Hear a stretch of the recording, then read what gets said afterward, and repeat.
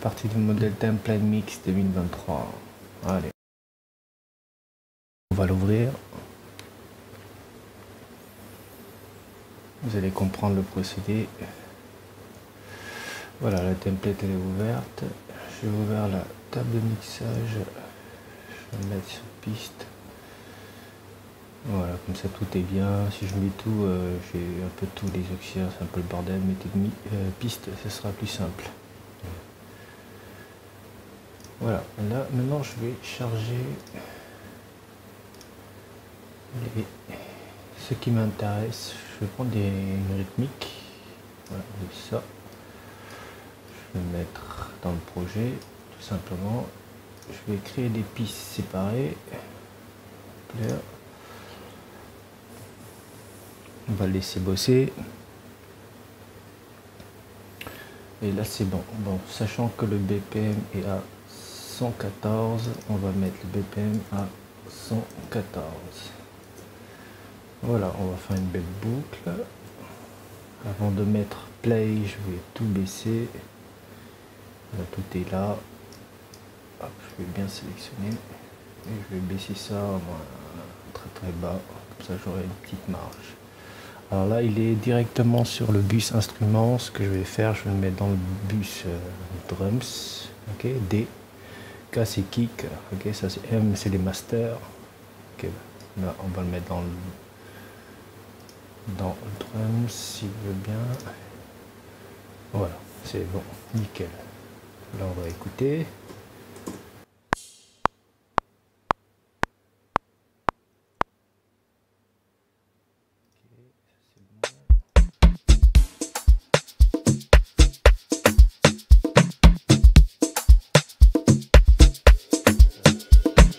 Comme vous le voyez, ça joue dans la piste auxiliaire drums.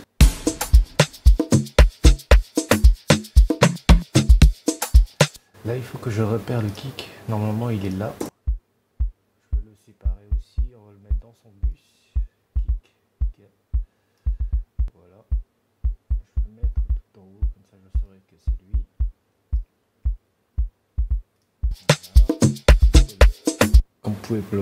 Là, il va jouer dans sa piste auxiliaire.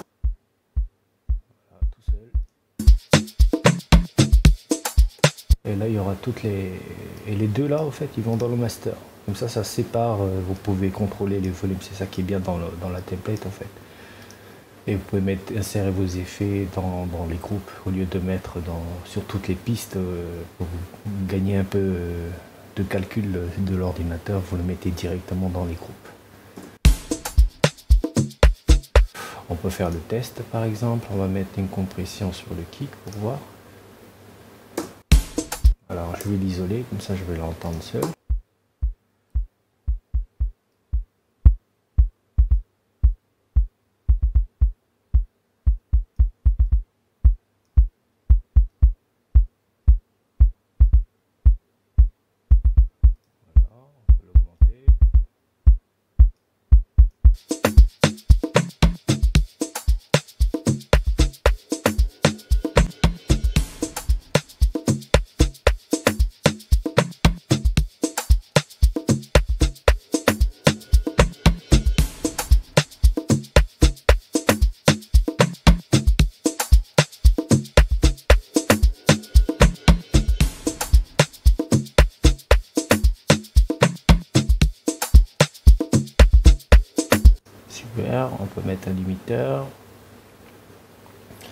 Alors limiteur de logique.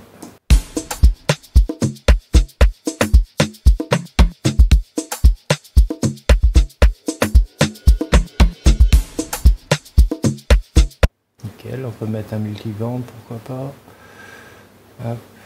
multiband ce que je vais faire, je vais mettre euh, le en dessous, comme ça euh, il va, il va le, multiband va traiter d'abord avant de limiter euh, en deuxième.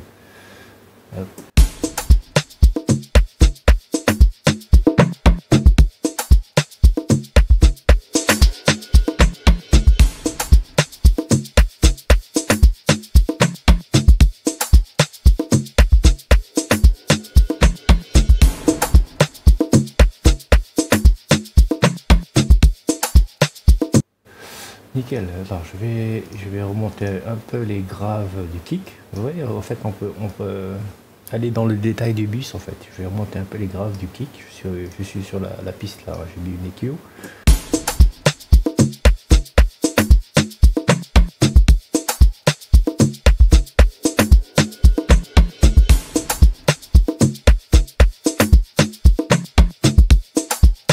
Ok, on va écouter sans les effets pour voir.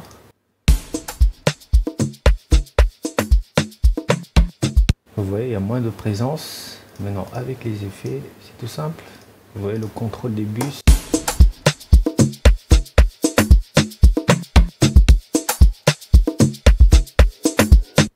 Alors voilà, vous pouvez le faire avec les voix. Vous voyez, vous avez les voix, tout est là. Il faut juste assigner simplement dans le groupe. Vous voyez, et c'est simple. Tout est déjà prêt. Vous avez juste à mettre vos effets dans les groupes. Comme ça, vous allez gagner un peu de, calcul en fait euh, de l'ordinateur du CPU, comme on dit. Ça sert à rien de mettre trop d'effets ici. Ici, vous pouvez juste nettoyer vos pistes tranquille, quoi. Mais c'est plus simple comme ça. Alors quand je vais en automation, vous, voyez, euh, il y a le master en fait. Euh, ça, je l'ai mis parce que une fois que je vais arriver à la fin du morceau, je voudrais faire un fade out, comme vous avez vu là. Comme ça, la musique elle va baisser tout doucement. Ok. Et voilà, voilà. Si vous avez d'autres questions, n'hésitez pas. Ciao, ciao. Salut, c'est reparti pour une deuxième vidéo. Là, je vais maintenant faire euh, la partie mélodie, comme j'avais déjà fait la partie rythmique qui se trouve là. Là, je vais faire le même process. Je vais prendre pour les mélodies. Alors, je vais mettre toutes mes mélodies. J'ai déjà sélectionné. Je fais créer piste. Hop, on va laisser charger.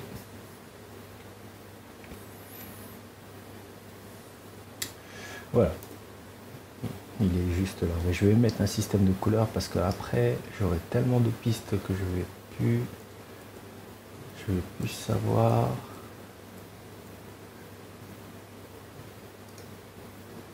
Voilà, remettre les couleurs.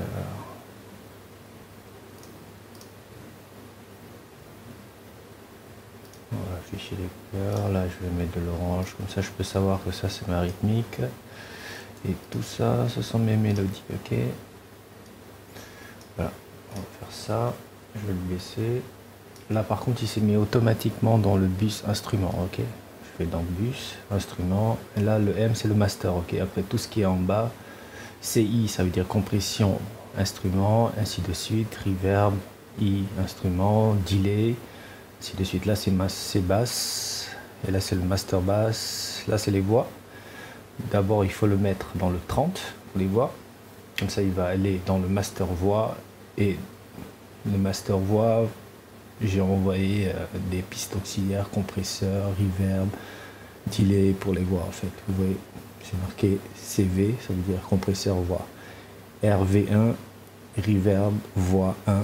Voilà, parce que euh, souvent dans les voix, on met plusieurs reverbs différentes en fait, d'accord? Je peux en mettre peut-être 4 maximum ou 5 ça peut arriver delay et pré-compression, ça peut être une compression en.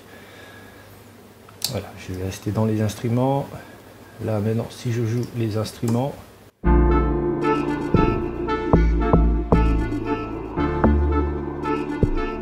alors j'entends qu'il y a une basse qui joue, ce qui fait que je vais le séparer et je vais le mettre euh, directement dans le bus des des, la bus basse en fait. Comme ça, ce sera plus simple. Mais il faut que je le repère. Je sais plus où il est. J'arrive pas à le voir. Alors, ce que je vais faire, tac.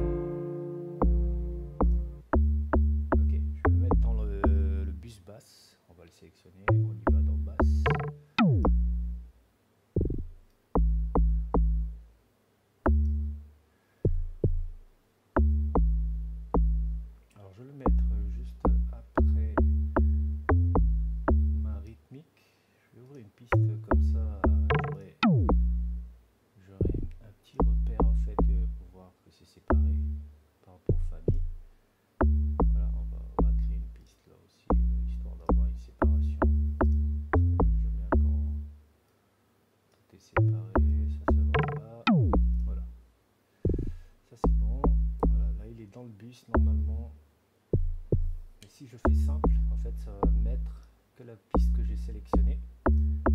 En fait, tout ce qui est lié avec euh, les bus. En fait, la piste est liée avec toutes les deux bus que vous voyez là, basse et master bass. Vous voyez si je reviens, tac, et si je me mets sur instrument, par exemple, je fais simple, et il me met la piste concernée avec tous ces bus qui sont reliés. C'est plus simple pour avoir un bon visuel quand vous avez beaucoup beaucoup de pistes. C'est super. Là je reviens. Alors, je vais vous montrer une petite astuce dans la template que j'ai faite. Venez dans ici, à gauche. Voilà, ici vous avez des groupes que j'ai déjà pré-réglés en fait, d'accord? Alors quand vous faites commande G normalement, ok, parce que c'est pas activé, il faut que je les assigne. Voilà, ça c'est activé. Commande G, il y a mes groupes que vous voyez en jaune qui s'activent en fait. Vous voyez là, et je vais faire le même principe pour. Euh, il faut le régler dès le début, comme ça vous allez voir. Comme ça vous pourrez mettre en solo les groupes. C'est plus simple. Alors là je vais le mettre ici, drum. Voilà. Ça c'est la basse. On va le mettre dans basse. Ok. Et là c'est les instruments. On va mettre instrument. Alors quand je fais commande G, ça c'est désactive. Pour l'activer, commande G solo sur une piste, il y a tout le groupe qui s'active. Vous gagnez un temps fou au lieu de sélectionner tout le, toutes les pistes.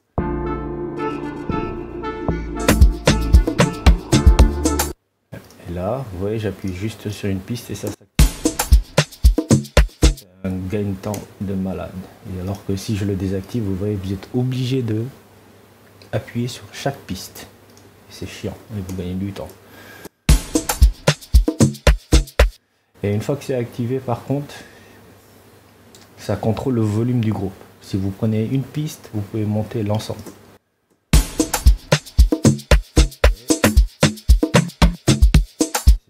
Pour relever le groupe. Pour le désactiver, commande G, j'ai juste à prendre la piste concernée pour remonter et je le remonte tout simplement. Voilà, je le remonte tout, seul. Et si je veux remonter le groupe, je réactive commande G. Je je, sélectionne une piste et j'augmente tout le groupe ensemble. C'est super pratique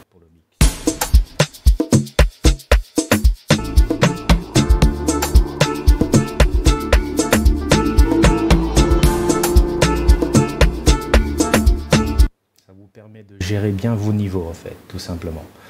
Alors comme vous pouvez le voir, instrument, alors je vais désactiver la rythmique. voyez là, c'est ici le groupe. C'est ici euh, les, deux pistes auxiliaires. Alors quand vous allez commencer, vous voyez, il y a, il y a CI, RI1. En fait, c'est tous les auxiliaires qui sont là. Vous voyez? Ça, c'est pour que les instruments. Mais par contre, il n'est pas activé. C'est à vous de l'activer pour que la piste joue. Vous voyez là, le signal, il a commencé à monter. Il est en train de jouer parce qu'il est activé.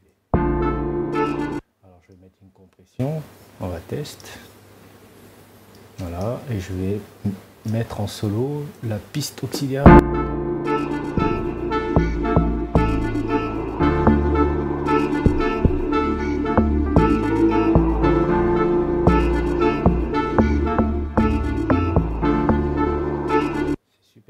mais c'est compressé là je vais mettre une reverb on va tester alors on va mettre une reverb simple hein de logique.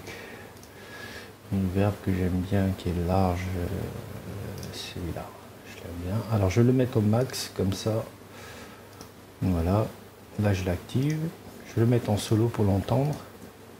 C'est parce que c'est activé. Ici, je vais désactiver pour l'entendre seul.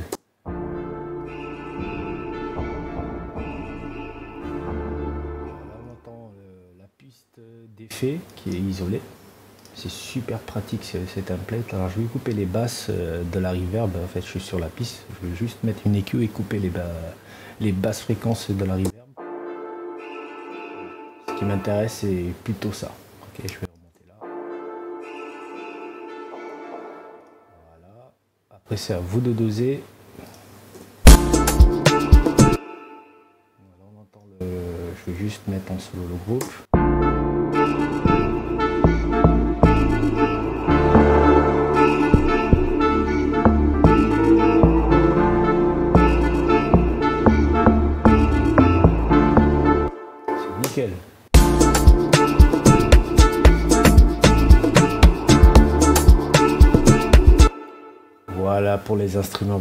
Ça va super vite quand vous commencez à faire du mix avec la template. Vous gagnez un temps fou. Vous n'êtes pas là avec euh, à bidouiller, à, chercher à faire le montage des pistes, des pistes d'instruments. Tout est déjà prêt en fait. Voilà, voilà.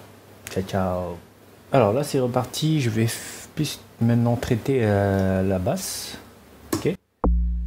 comme j'ai qu'une seule basse, euh, je vais faire simple. En fait, j'ai sélectionné la piste et là, il me sort toutes les pistes auxiliaires qui sont assignées à cette piste de base, d'accord? Je, je voudrais juste le remonter euh, par rapport au mix parce que je l'entends pas trop.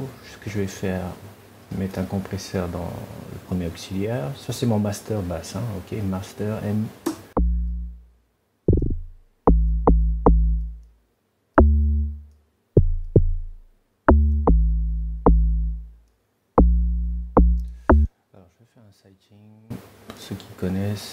la technique.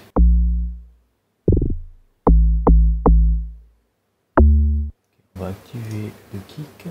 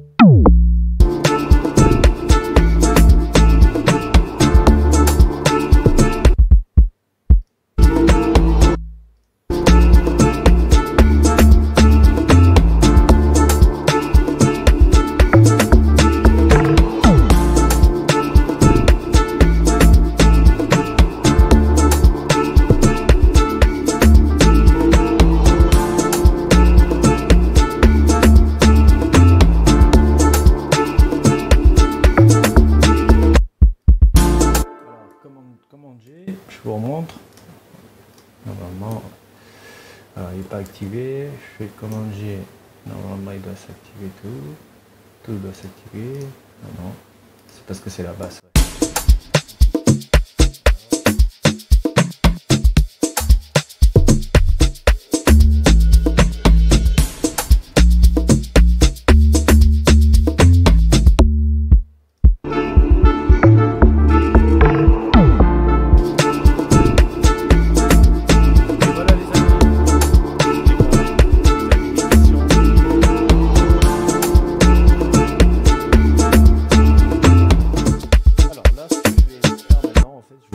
Le process, en fait, une fois que vous avez mis tous vos effets, le fait de mettre à niveau chaque piste euh, par rapport à l'ensemble, c'est ce que je vais faire. Je vais vous laisser regarder et écouter. C'est parti.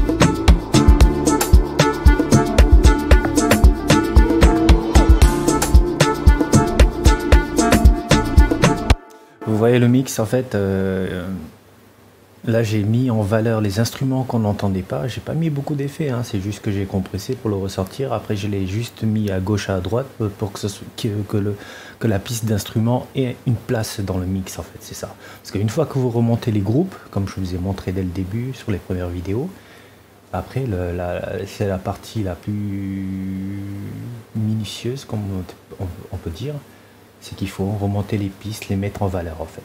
Soit vous ajoutez une EQ, vous remontez certaines parties de, la fréquence, ou vous compressez. Vous n'avez pas besoin de mettre beaucoup d'effets. C'est plus simple. Comme là, il y a des instruments qu'on n'entendait pas trop, comme celui-là. Je vais le mettre en solo, comme ça vous allez l'entendre seul.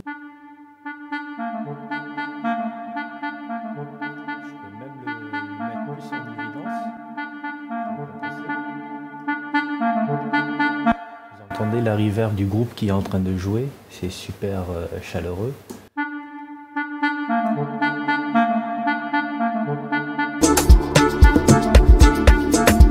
Là, comme je l'ai compressé, je vais le baisser un peu. Moi, personnellement, je préfère mettre une compression que mettre une EQ pour ressortir euh, une piste d'instrument.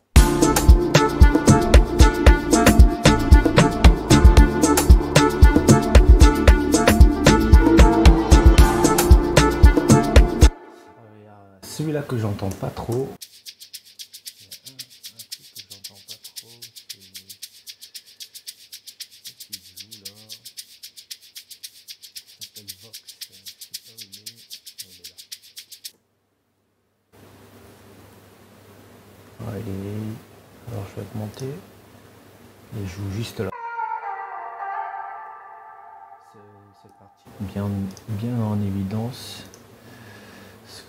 Je vais faire une petite boucle. Ouais, le mix, euh, une fois que vous avez tous vos groupes, après c'est du peaufinage, quoi. C'est pas, c'est pas bien compliqué.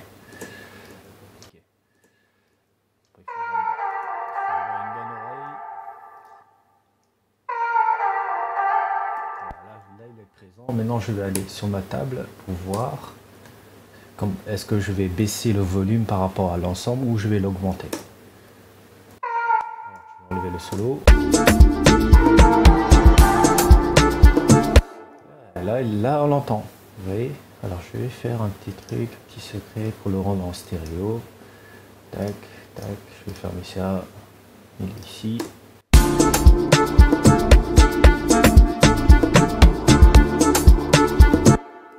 faire ma boucle parce que je voilà, j'aime bien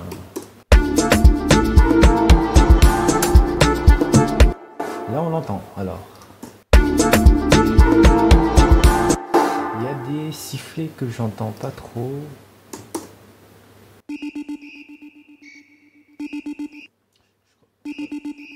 c'est celui-là.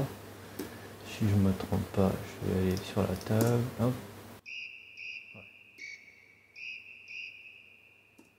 Pas trop ce que je vais faire, je vais compresser tout simplement. Je n'ai pas besoin de d'équaliser. J'équalise que si c'est vraiment pas propre quoi. Alors là, voilà, là je l'entends bien, il est présent. Maintenant je vais gérer le volume.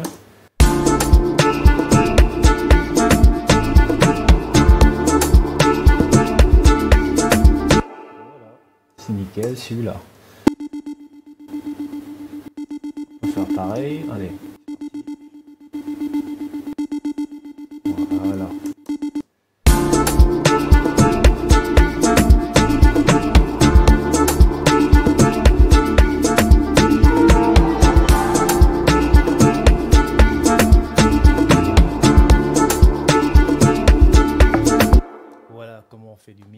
Avec la template, ma fameuse template. Après avoir compressé euh, les pistes de la rythmique, en fait, je me suis rendu compte que, que les, instruments étaient plus présents par rapport à la rythmique. Maintenant, parce que j'ai pas compressé en fait la rythmique, comme vous le voyez, il n'y a pas d'effet, il n'y a rien.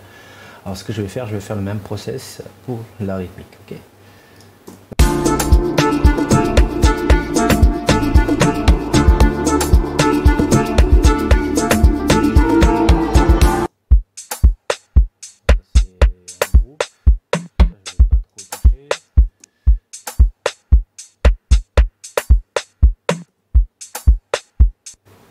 Là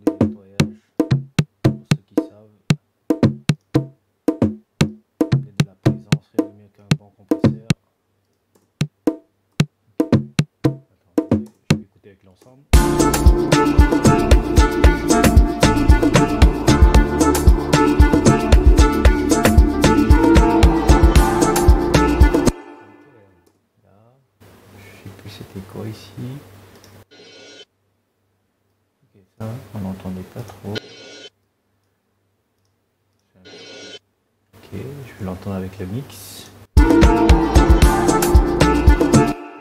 l'ai augmenté au max pour l'entendre. Je peux le compresser, mais je préfère l'augmenter. Je vais quand même relever les aigus avec une EQ. Vous voyez l'EQ, ça de compresser, je l'entends pas trop dans le mix. Il est derrière, je vais remonter juste un peu. Pas besoin de. Ce que je vais faire maintenant, je voudrais faire un, petit delay en fait qui va traîner. Vous voyez, on l'entend pas trop. euh, il est là, mais ce que je vais faire, je vais mettre un petit delay histoire que ça, traîne derrière. Voilà, on va l'écouter avec le mix.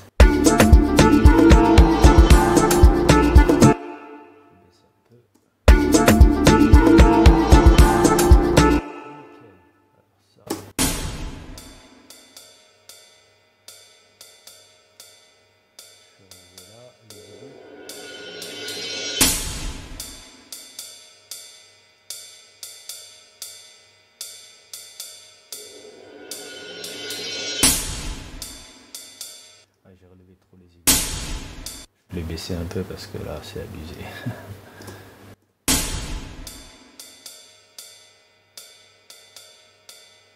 Là j'ai rajouté et là j'ai enlevé pour histoire d'équilibrer euh, les deux niveaux. Ça c'est moins, moins agressif.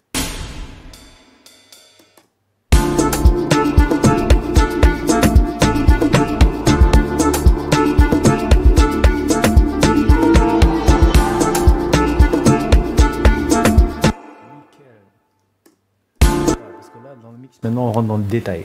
Est-ce qu'il faut compresser? Parce qu'une fois qu'on compresse le groupe, comme au début, est-ce qu'il faut équaliser? Est-ce qu'il faut mettre la compression? Voilà, la tempête, elle sert plutôt à ça en fait. Pas juste mettre des effets pour mettre des effets. Il faut mettre des effets quand c'est nécessaire. Voilà. Le shaker, je l'entends pas. Moi personnellement, je il est vraiment derrière. Je vais le remonter.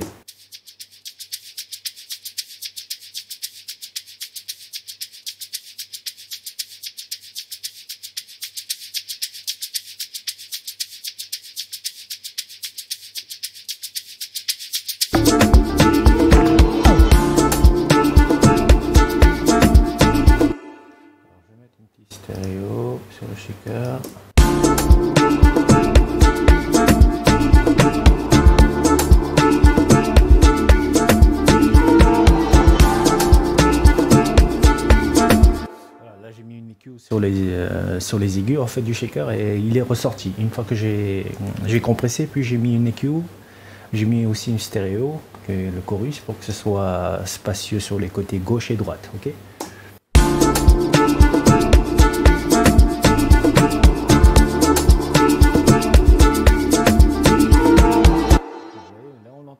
Alors si je désactive, vous allez voir la nuance.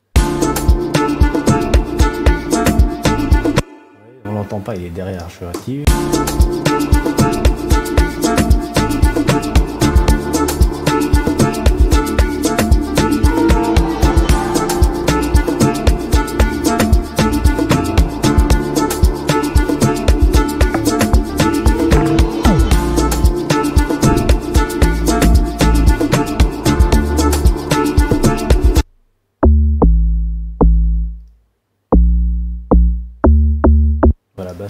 Compressée dans le groupe, pas besoin de mettre trop d'effets.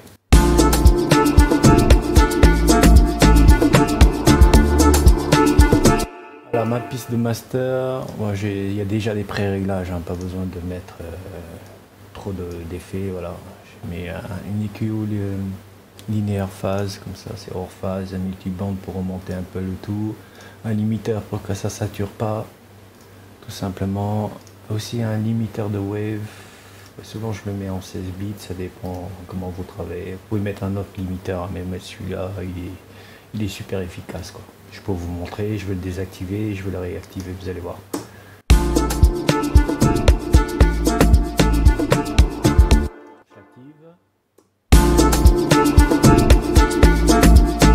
ça ramène beaucoup de dynamique, j'adore cette, euh, cette compression. Et voilà les amis, je vous laisse, bonne soirée. Et voilà.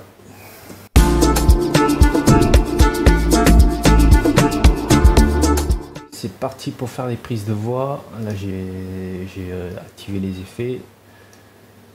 C'est parti, je vais me mettre en mode euh, latence euh, minimum parce que sinon je vais avoir des, des retards dans la prise de voix.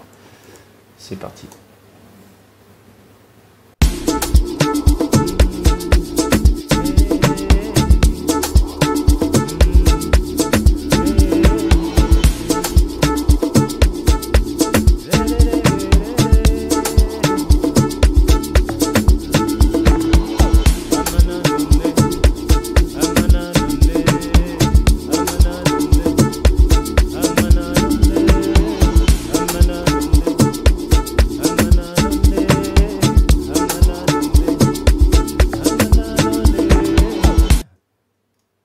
Une deuxième.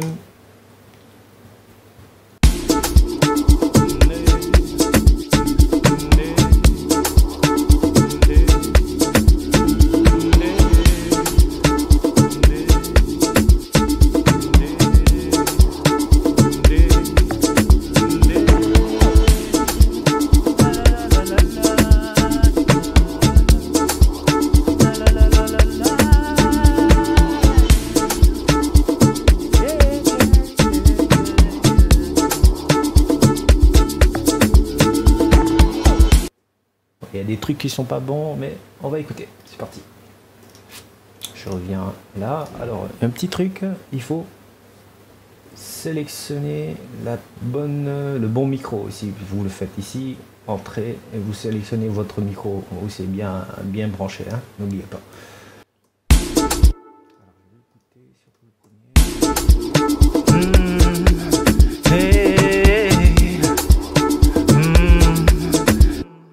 Ensemble pour avoir toutes les pistes auxiliaires.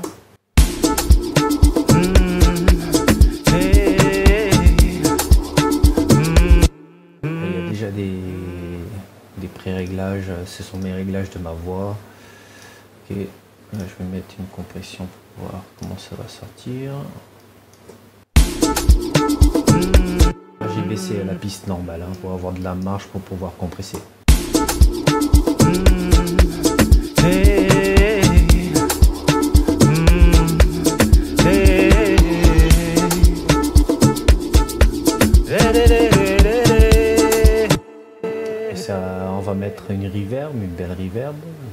Par exemple.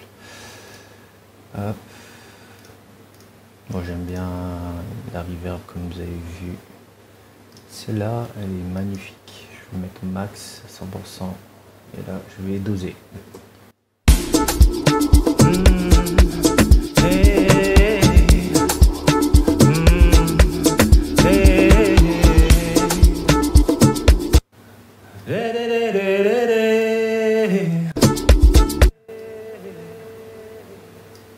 Amana amana nonne amana amana nonne amana amana amana amana amana Ça c'est aussi.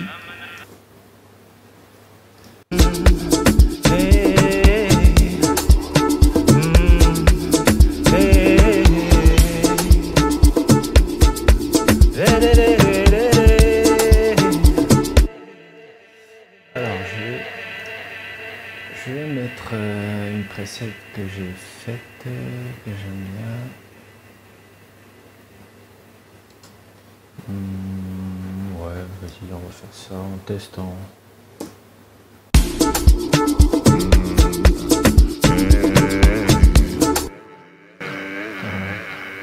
Ce que je vais faire, je vais le mettre derrière par exemple, et celui-là, je duplique, j'enlève.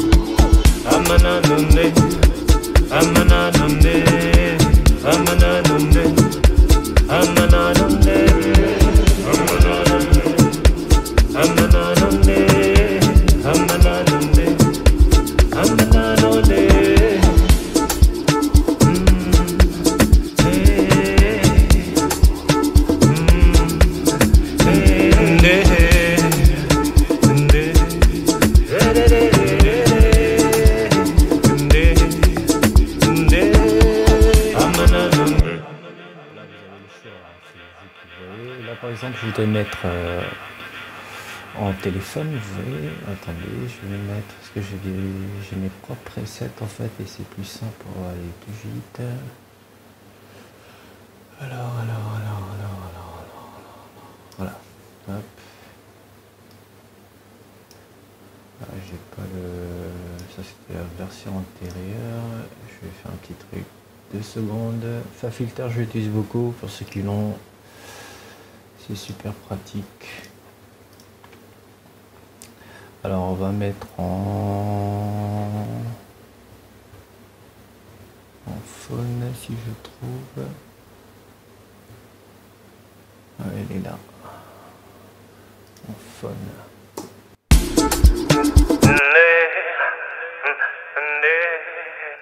Je vais faire un envoi sur la piste. Là, bon, je rentre dans des détails un peu plus techniques. Ce que je vais faire, je vais mettre dans le bus 7.